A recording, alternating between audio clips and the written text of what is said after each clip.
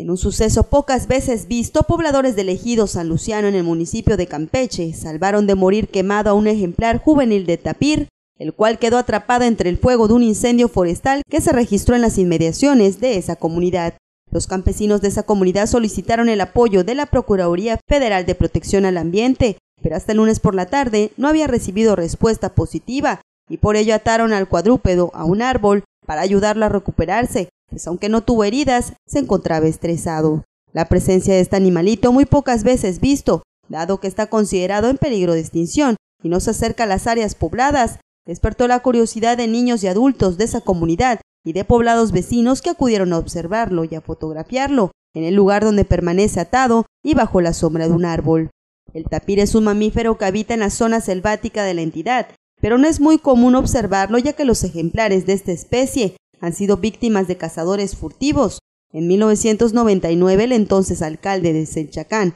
José Dolores Brito Pech, encabezó un grupo de pobladores de San Vicente Cumpich que cazaron un ejemplar adulto. En esa ocasión, el desconocimiento de los pobladores de esa región les hizo creer que se trataba de un ser ultraterreno y por ello se alertó y se organizó la búsqueda, que dio como lamentable resultado la muerte de ese tapir.